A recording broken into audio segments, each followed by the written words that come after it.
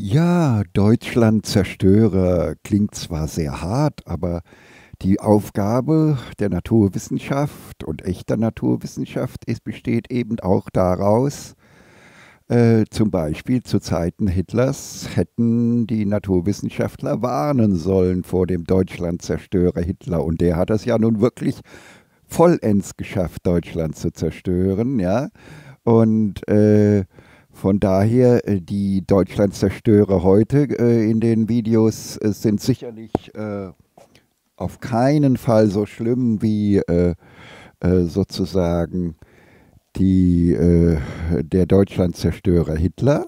Aber trotzdem ist die Aufgabe der Naturwissenschaft zu warnen, aber natürlich mit Argumenten, und äh, mit naturwissenschaftlichen Beweisführungen beziehungsweise naturwissenschaftlichen Argumentationsketten, ganz sachlich, ja. Denn jeder, der Deutschland zerstört, meint es ja gut. Auch Adolf Hitler hatte es gut gemeint mit Deutschland, nur war er äh, ist, war er so äh, in Irrtümern gefangen, dass er faktisch ein Massenmörder war, ja. So beginnen wir mit Kenneth M. Äh, da er hat äh, ein Video hat er veröffentlicht, da ist äh, das ist wirklich de, das Maximum des Schnellredewettbewerbs. Ich stelle ihn ja sowieso immer auf 0,75 Geschwindigkeit, weil er, äh, er ist, aber dieses Video äh, ist wirklich dann der Beweis dafür, dass die Formel gilt, extrem schnell reden und dabei schlecht denken. Ja, also äh, es gibt Leute, die, die können fantastisch reden, aber da sie während des Redens und auch davor und danach nicht richtig denken können, äh, ist das dann ein ganz hektisches Geplapper, zwar fehlerfrei, aber ich sage immer lieber fehlerfrei, aber richtig denken und äh, äh, wenn man dabei während des Redens denkt, ist das wirklich eine sehr schwierige Geschichte. Ja, äh, und äh, deswegen, also wo ist der Fehler? Also äh, KenFM regt sich schrecklich in diesem Video auf über Kriege aus der Region, aus der er selber seine Familie stammt und so weiter. Und dabei sieht er überhaupt nicht und er regt sich auf. Das heißt also, er wendet sich gegen einen Feind, die Kriegemacher, die Kriegetreiber, die, äh, die äh, sozusagen, ich reg mich ja nur auf und pluster mich auf gegen etwas, was ich als meinen Feind erachte und als mein Gegen. Und das ist der, das ist der gefährliche Fehler. Dieses ewige Feindbild, dem werden wir heute noch in den zwei Videos noch öfters begegnen. Dieses ewige Spalten, also dieses Spalten, ich nenne es mal, ich nenne es mal scherzhaft Spaltungsirre sein, ja. Dieses ständig äh, Feindbild, das, er ist sich nicht klar, dass er in seinem äh, sich aufregen über und gegen Kriege wieder einen neuen Krieg führt, nämlich den Krieg gegen die Kriegstreiber und die Kriegsmacher und die Kriegsgewinnler und alles und so weiter. Aber es gibt leider nur einen Weg zur Rettung Deutschlands und Europas, endlich aufzuhören mit, dieser, mit den Kriegen gegen, mit der, mit der Feindbildgeschichte, mit diesem Hass und dem Gegeneinander und so weiter. Denn Kriege gehören eben faktisch im Rahmen der sozialen Marktwirtschaft zu den Spielen der Erwachsenen, wie es Professor Erik Byrne mal formuliert hat. Äh, also sozusagen die Spiele der Erwachsenen, wenn, die, wenn wir KenFM müsste sagen, okay, wir müssen die soziale Marktwirtschaft beenden und das ganz friedlich und ganz kooperativ, so wie die zweiten Scientists for Future 2 das vorschlagen. Und äh, äh, das wäre der, der, der Weg und da kommen wir dann zur Lösung des Problems. Ganz kurz der ultra kurz der Beleg hier Kriegstreiberei. Alles fing vor 400.000 bis 300.000 Jahren an mit dieser Kriegstreiberei und das fing an äh, möglicherweise mit äh, einer ähnlichen äh, Vorgang wie hier. Vor 400 bis 300.000 Jahren der erzählt hier, ach, eine Gruppe hat nachts die andere besucht, äh, eine Kommune hat die andere nachts besucht Und was war das? Ein Schmusen und ein Herzen und ein Lieben. Und der versteht die Sprache nicht, wie bei der stillen Post, versteht das falsch und versteht, ach, eine Gruppe hat die andere nachts totgeschlagen und äh, äh, äh oh, ja, und alle waren tot und schrecklich und blutig und das in allen Farben schildert, ja. Bei diesen Zuhörern entsteht keine Kaufsucht, keine Konsumsucht gegenüber irgendwelchen Produkten dieses Händlers. Er wird so wenig verkaufen wie immer und so weiter, ja. Aber dieser Händler hier, der, die Leute, seine Zuhörer bekommen panische Angst, kaufen ihm äh, zufälligerweise dann äh, die, die Massen von seinen Steinäxten ab, um eventuell vielleicht sogar auch in einem Präventivkrieg die anderen Gru äh, Kommunen zu töten, bevor sie, sie, äh, äh, bevor sie selber getötet werden können. Und schon ist äh, über Gehirnwäsche und Irrtümer und eine falsche Geschichte ist schon die Kriegshetzerei und die Kriegstreiberei in der Welt. Und das, das muss gar nicht aus Absicht geschehen sein, sondern kann völlig einfach nur aus einem Missverständnis äh, äh, entstanden sein, aus einem Irrtum heraus. Irren ist menschlich. Nur dass eben die soziale Marktwirtschaft, der Kapitalismus, ein mörderisches System ist, das äh, sofort aus jedem Irrtum jeden Irrtum gleich massenhaft verbreitet. Denn wie breit verbreitet sich jetzt dieser Irrtum massenhaft? Indem der erstmal unheimlich viel Umsatz macht. Dadurch kann er diesen Händler auskonkurrieren. Über sein damaliges, vor 400 bis 300.000 Jahren, war natürlich das Marketing und das Glitzern und das Beeindrucken der Kunden natürlich noch viel primitiver als heute. Aber das gab es ganz sicher genauso schon. Ja? Dieser konkurriert also den aus, der muss seinen Laden schließen und mit seinen friedfertigen Geschichten, die friedfertigen Geschichten verschwinden und hier, der kann äh, äh zwei Kinder äh, ernähren, äh, dann dieses Kind kann dann wieder drei Kinder ernähren und so breitet sich quasi eine, eine letztendlich eine Waffenhändler-Dynastie aus, denn die wird sich natürlich schwerpunktmäßig, wenn er sieht, was er für einen Riesenerfolg beim Steinex zu verkaufen hat, wird, er, wird sich diese Dynastie immer mehr auf den Waffenhandel ausorientieren. Und überall haben sie im Gepäck Geschichten, die in die gesamte Gesellschaft, in alle Kommunen hineindringen, dass eben man äh, Waffen kaufen muss, weil äh, wie gesagt, weil es äh, von Natur aus vorgekommen sei, dass eine Kommune die andere nachts überfallen hätte und totgeschlagen hätte. Und dann erscheint es ja als rational, dass sich die ganze Welt bewaffnet. Ne? Und äh, das heißt also, dass äh, hier ein einzelner Irrtum, ein einzelnes Missverständnis, ein sprachliches Missverständnis im Stile einer stillen Post, dass das wirklich ausreicht, um, um, um das Spiel der Erwachsenen, Professor Eric Byrne, äh, sozusagen das Kriegsspiel in der sozialen Marktwirtschaft zu verankern und äh, drin zu machen. Ja? Und jetzt hat es nun gar keinen Sinn, sich dagegen aufzuregen, sondern das muss man verstehen und das muss man äh, zur Sprache bringen, sozusagen. Und dann muss man äh, eben hier sich nochmal klar machen, wo kommen wir denn her?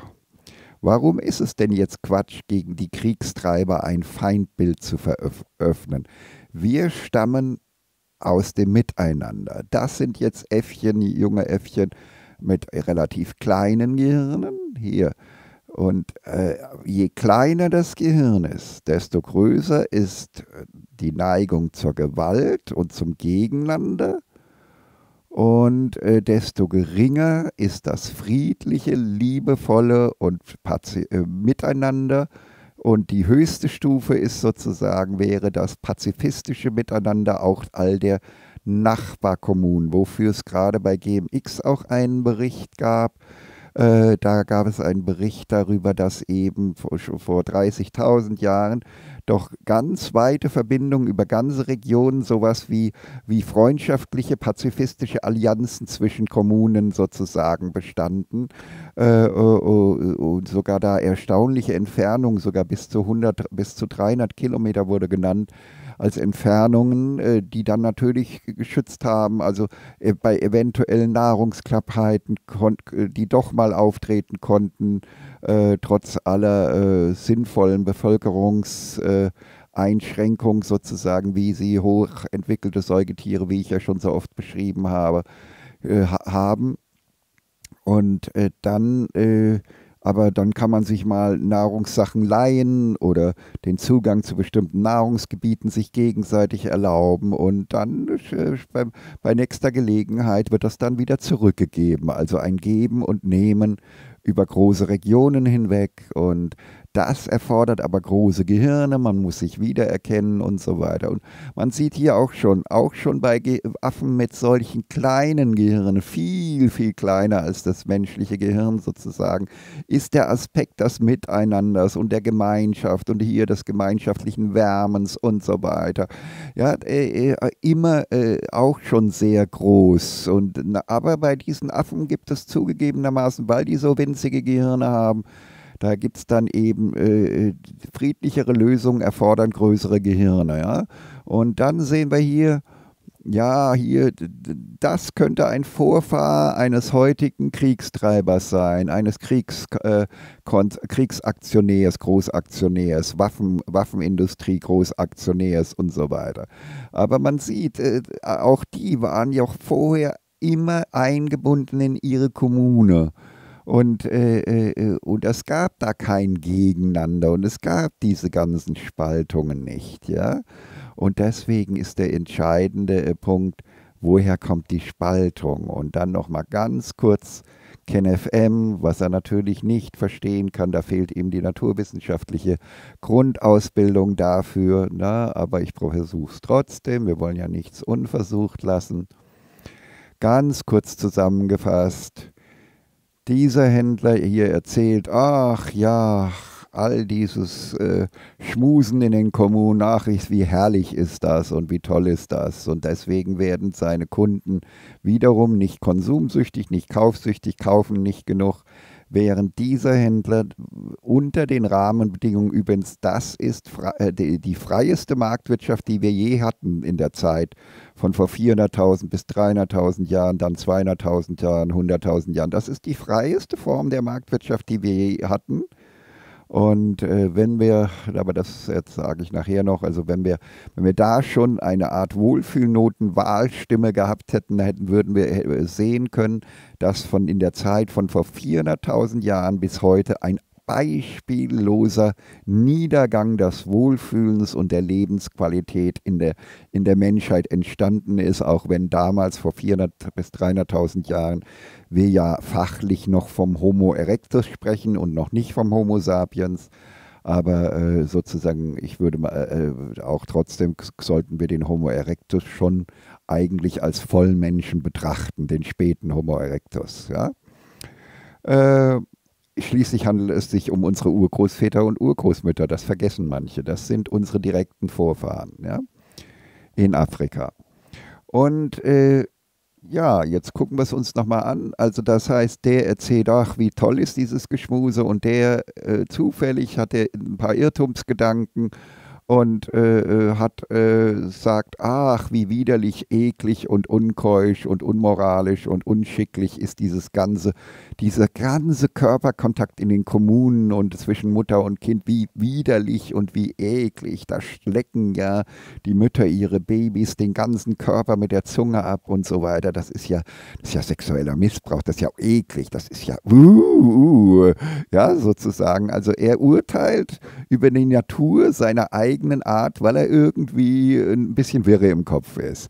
Aber jetzt, anstatt dass dieses Wirre im Kopf ausstirbt, wie es normalerweise immer geschehen war vorher, haben wir ja jetzt die soziale Marktwirtschaft, die freie Marktwirtschaft, freie soziale Marktwirtschaft, wie sie freier nie war.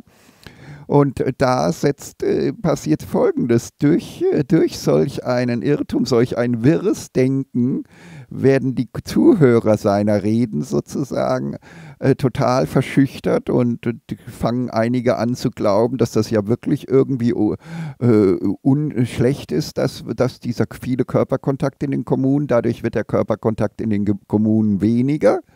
Und schon spalten sich zwei grundsätzliche Gruppen ab aus, äh, aus den Kommunen. Äh, die Männer, die vorher alles den Frauen und Kindern geschenkt haben, sagen, ja wieso, ich habe jetzt keinen guten Sex mehr, ich, ich werde nicht mehr geliebt, ich, äh, äh, was interessieren mich jetzt noch die Frauen und Kinder, denen ich vorher alles geschenkt habe, aber uff, ich fühle mich nicht mehr geliebt, ich bin unbefriedigt, ich muss mir irgendwie anders mich amüsieren. Und jetzt dann haben die an, angefangen, selbst eigene Tauschhandelsimperien aufzubauen. Und die andere Hälfte hat an, der Männer hat angefangen, fangen äh, Kriminellenbünde sozusagen, Verbrecherbünde äh, äh, aufzubauen. Und dann so kam es zur Spaltung sozusagen. Und wenn man jetzt eine kranke Gesellschaft therapieren will, dann macht man ja kein Feindbild und sagt nicht wie, die, bei, wie bei den Linken die eine Frau, wir erschießen jetzt mal die Reichen, so auch wenn sie es vielleicht nur scherzhaft gemeint hat, aber es zeigt ja, welche Offenheit für welche Gedanken da ist, ja. Also sozusagen, äh, wir machen nicht ein neues kapitalistisches Feindbild auf und verkaufen wieder neue Waffen an die Revolutionsarmeen und Revolutionsideen, sondern wir führen alle wieder zusammen. Also wir äh, ne, führen unsere Milliardärskönige, also hier das Analogung, das wäre vielleicht einer dieser Milliardärskönige, wieder. Äh, wir müssen alles wieder in die glückliche Gemeinschaft zusammenführen und das völlig ohne jegliche Freiheitseinschränkung und jeden Zwang.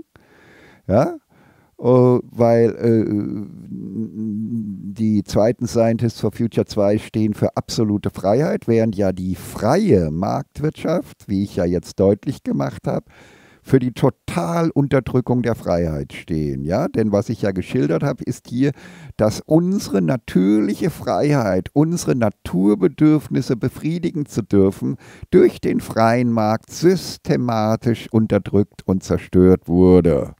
Ja, und mir kommen diese ganzen äh, Freimarktwirtschaftler sozusagen wie Dr. Markus Krall und so weiter äh, äh immer so vor wie Leute, die äh, nachdem man sie mit der Peitsche und mit den Knüppeln ihnen alles, was Lust, Lebenslust bedeutet, ausgetrieben hat, die dann sagen, ich hatte nie solche Bedürfnisse. Ich, äh, ich, ich, äh, ich hatte nie solche Bedürfnisse. Ja? Also äh, sozusagen die Identifikation mit dem Aggressor.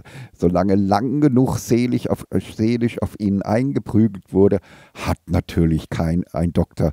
Markus Krall natürlich kein Bedürfnis danach, hier äh, morgen mit der, vielleicht sind das hier Weibchen, ich weiß es nicht, mal mit der zu schmusen und dann mal mit der zu schmusen und und dann mal hier, der, der, der, das könnte ein Männchen sein, dann vielleicht mit dem Weibchen mal und dann mit dem und das so richtig zu genießen und so richtig äh, und dann mit den Kindern zu spielen und denen alles zu schenken und so weiter. Äh, diese Lust, die kennt ein Dr. Markus Krall natürlich nicht mehr, denn er hat ja solche Bedürfnisse nie gehabt, weil seine, auf seine Psyche wurde so lange eingeprügelt. Äh, ich erinnere mich noch dran, wie meine Mutter, äh, natürlich nett gemeint, denn das war ja nicht bös gemeint, aber sozusagen das, was hier entstanden ist, diese diese Feindseligkeit gegenüber der körperlichen Liebe, da hatte ich mit meiner hübschen äh, Nachbarsfreundin sozusagen, haben wir wohl Doktorgespiele gespielt und dann gab es den Tadel und ich weiß noch, dass, obwohl es ja nur ein sanfter Tadel meiner Mutter war, Kinder sind, lassen sich, sind von so etwas total beeindruckbar und einschüchterbar, ja.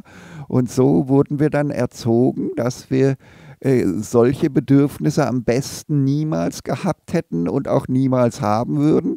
Und solch eine Pädagogik der Selbstunterdrückung ist halt bei so Leuten wie Dr. Markus Krall tausendprozentig gelungen, sodass die also sagen, äh, ich erlebe gar keine Freiheitseinschränkung in der äh, freien Marktwirtschaft, sondern in eine Befreiung.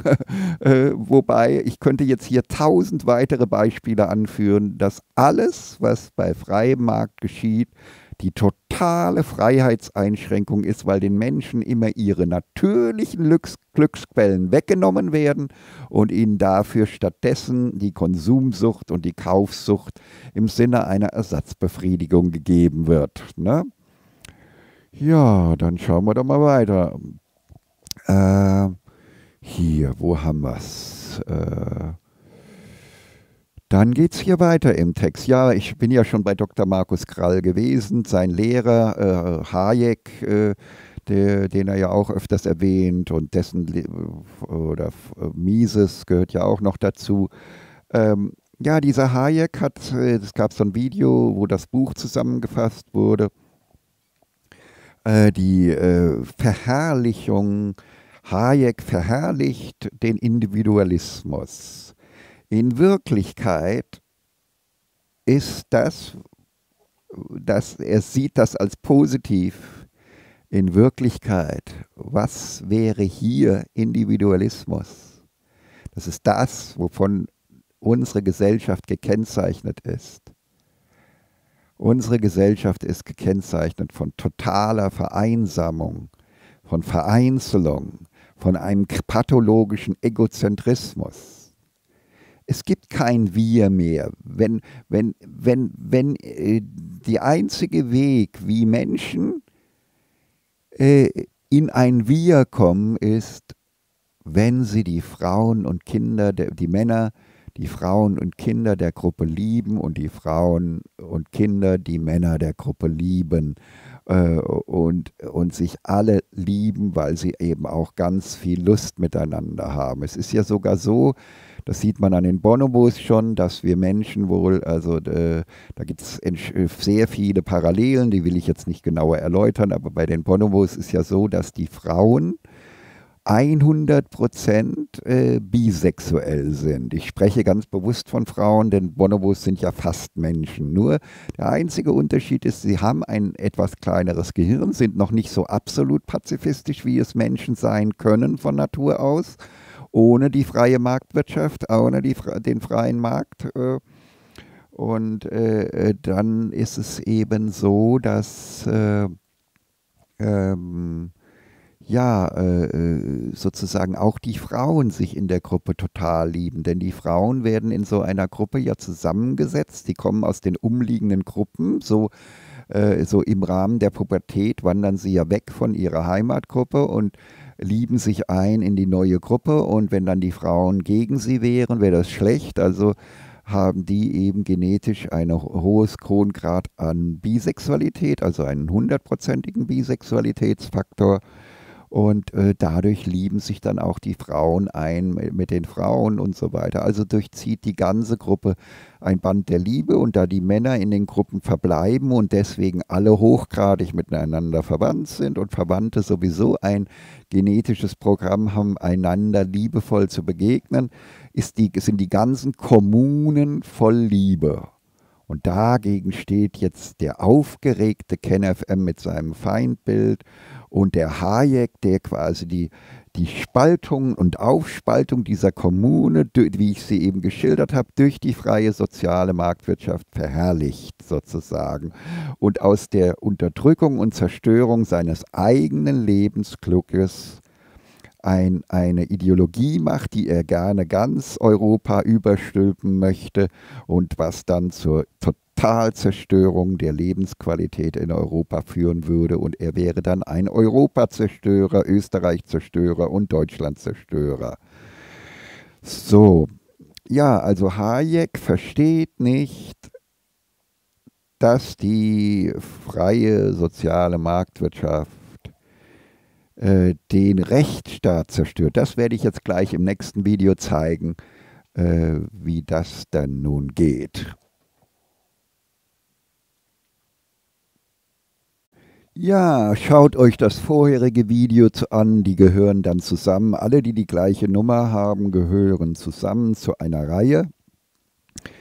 Ja, und ich war gerade dabei zu erzählen, war, dass Hayek neben seiner Verherrlichung des Individualismus natürlich noch viele andere Irrtümer hat, aber eben auch, er versteht nicht, dass die freie soziale Marktwirtschaft nicht für Rechtsstaat steht, sondern der, der, der zentrale Zerstörer des Rechtsstaates ist.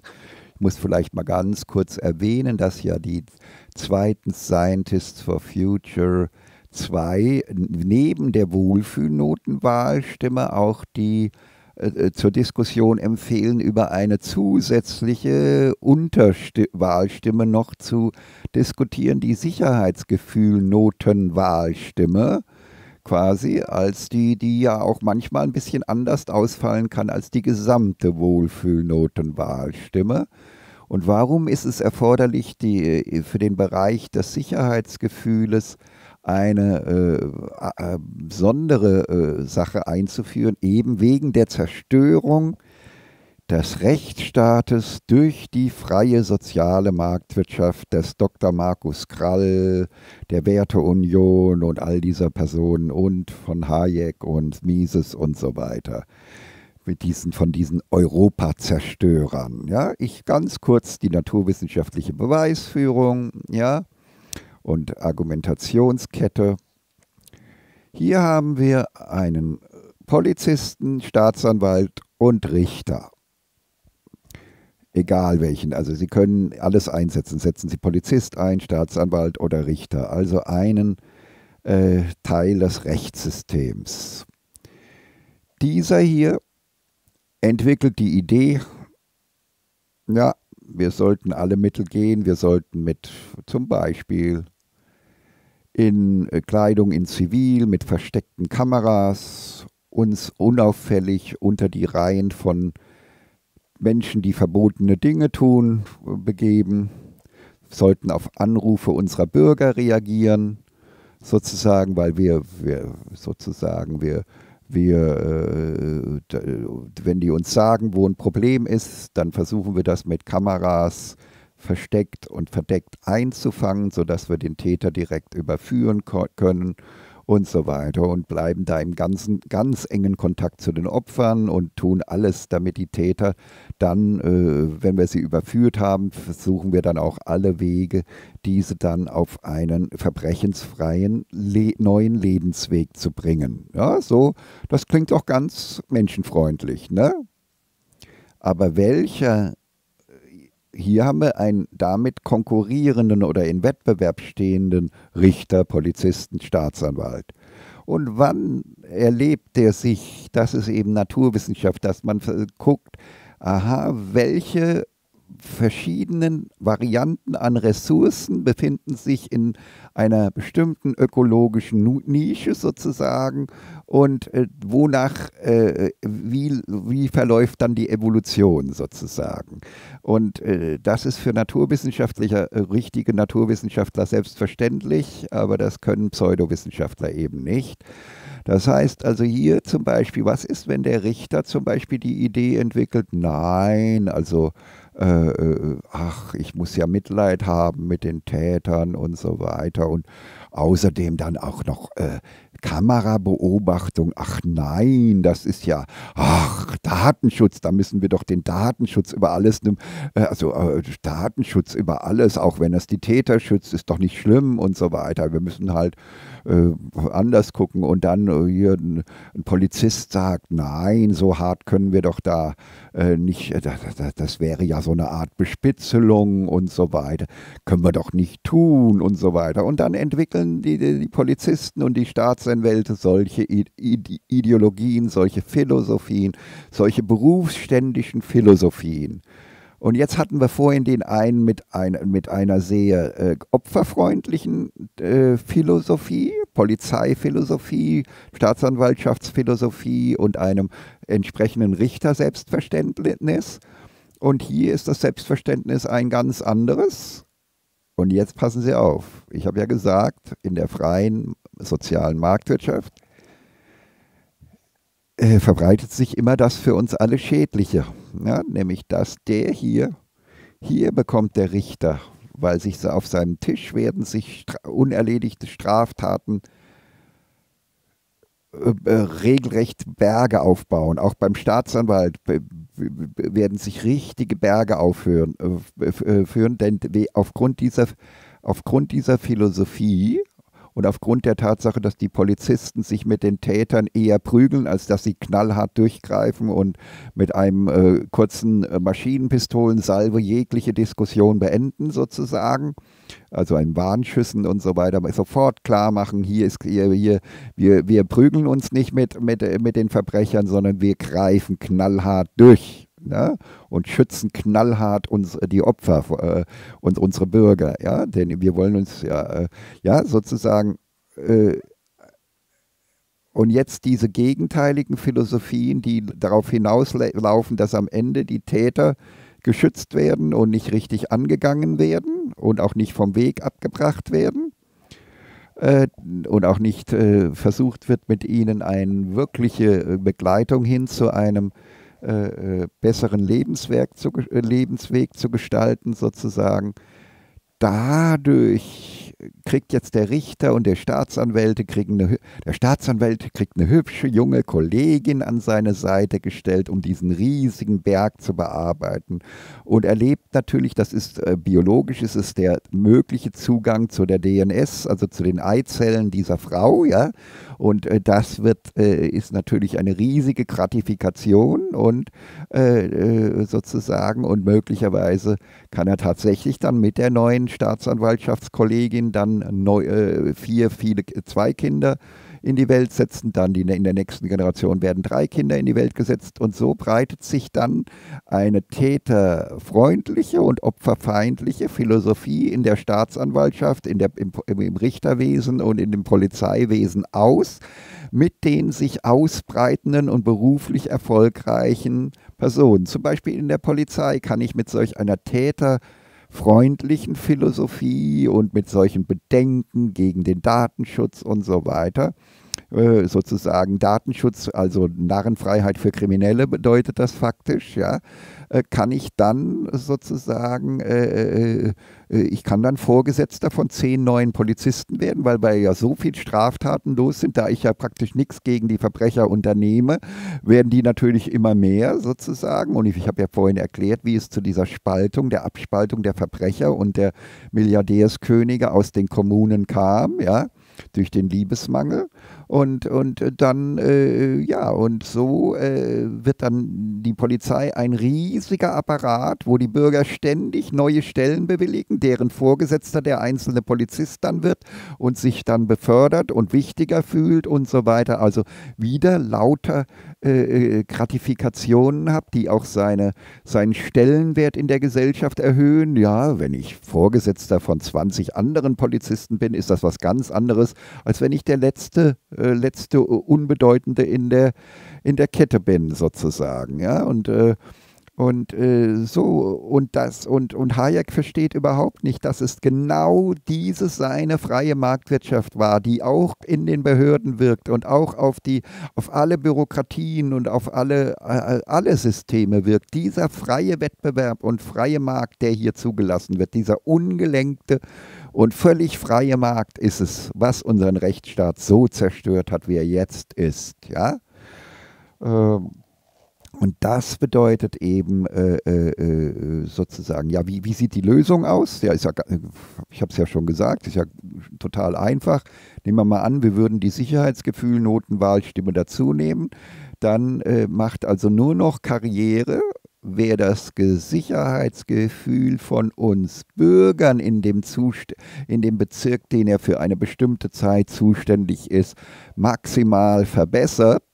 Und das heißt, dass er äh, äh, opferfreundlich sein muss, täterfeindliche Philosophie. Es entwickeln sich dann unter diesen neuen Evolutionsbedingungen, breiten sich dann automatisch derjenige mit dieser opferfreundlichen und täterfeindlichen Gesamtphilosophie mit seinen äh, äh, Polizeibeamten in Zivil und versteckten Kameras und so weiter, der, äh, die, der würde dann riesigen Erfolg haben, weil er ja über die Sicherheitsgefühlnote quasi mit Karrierebelohnungen belohnt wird sozusagen. Und dadurch breitet sich sozusagen eine völlig andere Polizeiphilosophie, Staatsanwaltschaftsphilosophie, eine bürgerfreundliche äh, Richterphilosophie aus und die anderen sterben aus. Also wir haben dann die totale Umkehrung. Und gerade nur durch was? Durch die Beendigung des freien Marktes und durch die Einführung einer idealen, echten Planwirtschaft mit äh, einerseits planwirtschaftlicher Lenkung in Richtung Erhöhung der Sicherheit in der Gesellschaft sozusagen und äh, dann natürlich mit den dazugehörigen, zu einer echten Planwirtschaft gehörigen, habe ich ja schon oft gesagt, mit äh, Wettbewerb, äh, äh fairem Wettbewerb, äh, fairer Leistungsmessung und äh, mit fairem Markt. Und dieser neue Markt führt dann dazu, dass Täter freundliche Richter seltener werden und aussterben sozusagen und auch kaum Nachkommen hinterlassen können und deswegen auch an ihre Kinder äh, keine, keine solchen verqueren, täterfreundlichen Philosophien mehr weitergeben können und die bürgerfreundlichen äh, äh, äh, Philosophien breiten sich mit dem Erfolg ihrer Träger aus und vermehren sich. Und dann haben wir also durch die Beendigung des freien Marktes haben wir einen funktionierenden Rechtsstaat, den wir vielleicht irgendwann sogar gar nicht mehr brauchen, ganz am Ende gar nicht mehr brauchen, weil wenn die Menschen wieder in ihre, wenn die Männer und und auch die kriminell gewordenen Frauen, wenn alle wieder zurückkommen in dieses Band der Liebe, des Miteinanders. Aber das muss freiwillig geschehen. Also niemand in einem echten echten, naturwissenschaftlichen, echten Kommunismus, Sozialismus, Planwirtschaft, also in, in, genau dem Gegenteil dessen, was diese Raubmörder angerichtet haben, diese Stalins und ähnlichen, ja, also all diese, diese Raubmörder angerichtet haben und das nur äh, genannt haben, fälschlicherweise Kommunismus, Sozialismus und Planwirtschaft. Also diesen Betrügern sozusagen, äh, im Gegensatz zu diesen Betrügern, äh, wäre also ein echter Kommunismus, eine echte soziale Marktwirtschaft, eine echte Planwirtschaft, also genau das Gegenteil äh, von diesen Verbrechern und das würde uns, äh, das darf man aber nie vorschreiben, man darf auch dieses Miteinander nicht vorschreiben und so weiter. Das muss sich ganz von selbst wieder entwickeln, wenn die hier, wenn die, wenn, wenn, wenn der äh, sozusagen der Glücksvernichtungsdruck der freien Marktwirtschaft weg ist, dann finden die Menschen immer mehr wieder, immer wieder äh, entdecken so nach und nach ihre natürlichen Glücksquellen äh, wieder, wenn die, wenn die Mütter also nicht mehr, nicht mehr äh, äh sagen, ach, äh, Doktorspiele sind unschicklich, sondern die Kinder einfach machen lassen, zu was ihre Körper sie Lust hat sozusagen, ja, und woran sie, woran sie Spielspaß haben, ja dann, dann befrei, äh, dann sind die plötzlich die Menschen völlig unverklemmt und finden wieder zurück zu ihren natürlichen, natürlichen Glücksquellen, zu ihren natürlichen Glücksquellen und brauchen dann diese ganze Konsumsucht und den ganzen Raubbau an der Erde und die Kaufsucht und das Ganze nicht mehr. Ne? Und dann gibt es natürlich auch keine Kriege mehr und so weiter, ja. So, dann schauen wir mal weiter. Was steht jetzt hier noch? Äh, das war die Nummer zwei. Jetzt kommt die Nummer drei. Jetzt kommt ja äh, Deutschland, Eu Europazerstörer Christian Felber kommt jetzt ins Spiel, ja. Äh, ja, also er leistet halt einer, wieder einem Feindbild und einer Neidideologie äh, Vorschub, statt äh, dass, äh, äh, dass er das tatsächliche Zusammengehen der Schere ermöglicht. Also denn äh, die Schere geht ja auch dann hier. Hier haben wir ja auch wieder, wenn die, wenn die Männer, die Milliardäre, die Milliardärskönige, wo sind sie? Hier unser Milliardärskönig. Äh, wenn die Milliardärskönige dann von sich aus und völlig freiwillig und völligst freiheitlich sozusagen wieder sagen, ich habe aber Lust, in so einer Kommune mitzuleben, die so von den Kommunen, die so rund um die Hausarztkommunen so nach und nach entstehen, weil die Hausärzte auch anregen, dass man doch zusammenziehen sollte und so weiter und dann äh, den quasi den Menschen wieder die Fähigkeit, die Ärzte den Menschen wieder die Fähigkeit bringen, wieder überhaupt kommunenfähig. Ich habe früher gesprochen von Gemeinschaftsunfähigkeit und von gemeinschaftsfähig. Sprechen wir von Kommunenfähigkeit und Kommunenunfähigkeit und dann also sozusagen als Supervisoren äh, zu helfen, also eben, dass die Menschen alle wieder Kommunenfähigkeit entwickeln und wenn dann also so ein, so ein Milliardärskönig dann mal zu Besuch kommt hier und, und da einfach mal mitleben darf und dann sagt, hoppla, jetzt habe ich mich in diese Kommune so verliebt, hier will ich bleiben, hier will ich sein, da, dann bringe ich meine Lieben mit und so weiter und äh, meine Verwandten und so weiter. Da will ich sein und da bringe ich auch meine ganzen Milliarden mit und das schenke ich dann so, wie es früher immer üblich war, vor 400.000 Jahren, schenke ich das alles nach und nach den von mir geliebten Frauen und Kindern, die ja dann teilweise eben von mir selber sind und da verschenke verschenke ich und verströme ich meinen ganzen Reichtum und der verteilt sich damit wieder über die gesamte Bevölkerung und das ist der, der, der einzige Weg, wie jemals die Schere zwischen Arm und Reich wieder zusammengehen wird, so wie es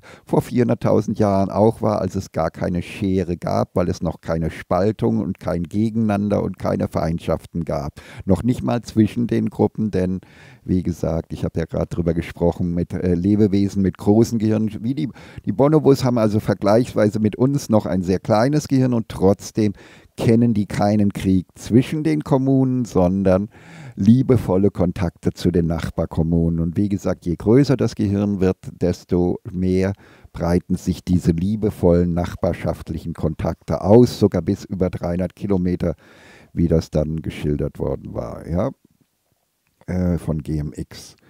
Ja, also dann der, der, der, der letzte Fehler von ähm, äh, von Felber, also jetzt um den Fe Fehler nochmal von Felber zu verdeutlichen, dieses Neidschüren und diese Spaltung hinein. Ja, er spricht von Gemeinwohlökonomie, aber der meint die, für die Gemeinwohlökonomie und äh, aber im Hinterkopf steckt bei ihm der gleiche Gedanke, die Reichen erschießen, so wenn auch nicht mit Waffengewalt, sondern aber äh, irgendwie abschießen, äh, ohne sie zu töten, aber, aber eben doch äh, äh, sozusagen äh, herabzuwürdigen und so weiter. Und das werden sie sich natürlich selbstverständlich nie gefallen lassen. Warum sollten sie auch? Ne? Äh, ja, da, da geht es zum Beispiel immer darum, dass dann so die, die Neidfrage gestellt wird, wie das wievielfache des äh, Gehaltes äh, äh, des äh, Mindestlohnes darf in einer Firma verdient werden oder überhaupt im Staat verdient werden. Und dann kam zum Beispiel kommen oft so äh, ein Video, da kam die Zahl 3 raus. Also das heißt, was weiß ich, Mindestlohn, was weiß ich, 1000 Euro im Monat und dann wären 3000, also das Maximum wäre 3000 Euro im Monat. Bei 10 wäre es 10.000 Euro im Monat, ja. Und jetzt, äh, und das zeigt sich ganz klar, dass es die solche Spielereien alle aus dem Neid geboren werden. Denn die, die, die Frage müsste ja sein, die naturwissenschaftliche Frage ist ja äh, sozusagen, die, die heutigen Milliardärskönige sind ja durch den freien Markt der Liebe beraubt. Das heißt, die, die hängen nicht an unserem Staat, ja die können ihre paar wenigen, ihre monogamen Partner und die Kinder nehmen und ihre Mono, ihre kleine Familie und können mit Milliarden können sie völlig frei entscheiden, zu welchem, zu, auf welchem Platz der Erde sie gehen möchten. Sie werden überall mit offensten Armen empfangen. Die Frage muss doch sein, ab wann? Verlieren wir die Eliten? Ab wann äh, wandern all die fähigen Leute aus? Alle die Erfinder, die Entwickler und so weiter, die Arbeitsplatzschaffer. Wann, äh, wann, äh, wann, wann, ab wann wandern die ab? Und wenn ich, wenn ich, äh, wenn ich in der ganzen Welt äh, statt 10.000 Euro im Monat, wenn ich dort und wie gesagt, ich bin ja nicht mehr in der Liebe. Ich, ich, ich, ich habe ja an den anderen Menschen kein Interesse mehr durch den freien Markt, durch die freie soziale Marktwirtschaft, die unser aller Leben zerstört hat.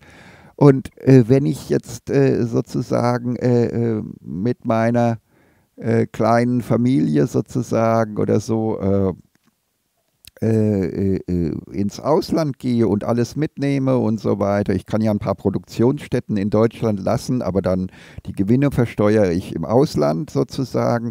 Dann habe ich dort, kriege ich nicht 10.000 im Monat, sondern 100.000 im Monat oder 200.000 im Monat. Und warum soll das ein, ein Unternehmer, ein, ein Erfinder, ein Entwickler, ein Akademiker, ein, äh, eine Professorin, ein, warum sollen die das nicht machen? Ja? Warum, was gibt es für einen Grund, was ist an Deutschland so schön, dass die in Deutschland bleiben? Und jetzt äh, eigentlich gibt es darauf nur eine Antwort. Felber, wenn er jetzt konsequent wäre, äh, sozusagen müsste er eigentlich eine Mauer um, äh, um Europa oder um, um, um, um Europa bauen und äh, die Reichen und die Fähigen und die Kompetenten nicht mehr rauslassen. Dann haben wir also DDR. Ja, dann haben wir also DDR. Dann müssen wir also maximale Unfreiheit, müssen wir alle einsperren. Und dann, oh, die Frage ist, ob sie dann überhaupt noch Lust haben, Leistung zu bringen, wenn sie eingesperrt werden im Gefängnis Europa sozusagen. Ja? Also das ist dann die Frage. Ja? Äh, also von daher, ich fasse zusammen für dieses Video, also für diese zwei Videos, schaut also das Video davor auch, alle mit der gleichen Nummer gehören zusammen. Äh, ähm, ja, also das heißt, äh, Christian Felbers Ideologie heißt zwar Gemeinwohlökonomie, aber die einzigen, die wirklich Gemeinwohlökonomie können, sind die zweiten Scientists for Future 2. Und Felber kann es leider nicht. Der würde dazu beitragen, wo ist es hier, wo ist es da? Ähm, da haben wir es, dass wir, dass nach und nach die Fähigsten auswandern. Es sei denn, es wird eine DDR-Mauer rund um Europa gezogen. Und dadurch verschiebt sich die durchschnittliche Leistungsfähigkeit Europas weiter nach links. Und dann äh, haben wir bald ein Lebensniveau von 2 Euro am Tag, so äh, vielleicht sogar unter afrikanischem Niveau, weil dann alle Denker, alle Entwickler, alle Arbeitsplatzschaffer sind weg und übrig bleiben Idioten und die Idioten werden Europa kaputt wirtschaften und sind nicht mehr konkurrenzfähig und wir werden dann sozusagen äh, alle, äh, in Zukunft alle von zwei Euro am Tag leben müssen, sozusagen. Und das, äh, das ist das, was Christian Felber macht, obwohl er genau das Gegenteil sicherlich will. Aber so ist das mit den Irrtümern. Ja? Irrtümer äh, bedeuten, dass man glaubt, man würde eine Gemeinwohlökonomie aufbauen, aber faktisch würde er wäre er der Sargnagel Europas. Also echte Gemeinwohlökonomie können nur die Zweiten Scientists for Future 2. Dankeschön, es geht gleich weiter mit der nächsten Nummer und den dazugehörigen Videos. Tschüssi.